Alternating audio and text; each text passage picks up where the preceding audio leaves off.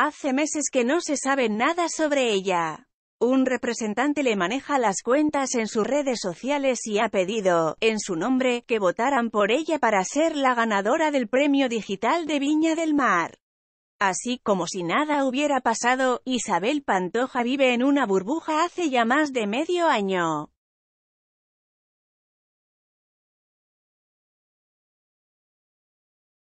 Fue a principios de agosto cuando la caja de Pandora se abrió. No hace falta entrar en detalles, todos sabemos lo que ha pasado y, si por casualidad no sabéis de lo que estamos hablando, basta solo con poner en los buscadores Kiko Rivera contra Isabel Pantoja, y podréis disfrutar de una maratón como si fuera la serie La Casa de Papel.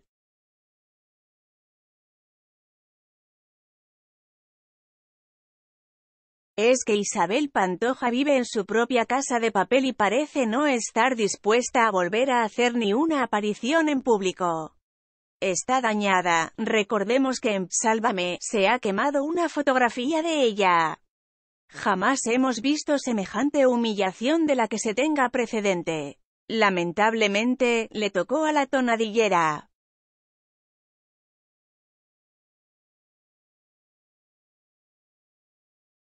En esa enorme finca, valuada en más de 8 millones de euros, vive Isabel Pantoja, junto a su hermano, manager y consejero, Agustín. También está su madre, Ana Martín, quien desde hace meses presenta una enfermedad y también permanece recluida entre las paredes de Cantora.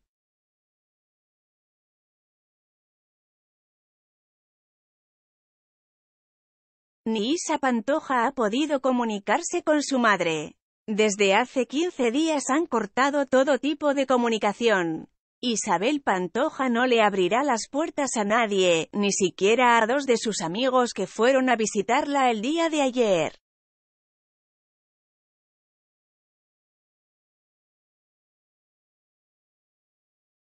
La revista Chance accedió a un vídeo donde una pareja, que visita frecuentemente a Isabel Pantoja, no ha sido muy bienvenida que digamos.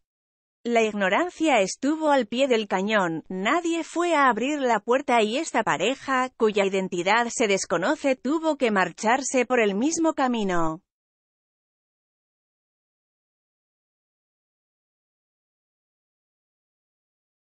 La tonadillera ya ha puesto en marcha el plan con sus abogados para deshacerse de Cantora, vender lo que le corresponde y entregarles a los tres hijos de Paquirri lo que se les debe.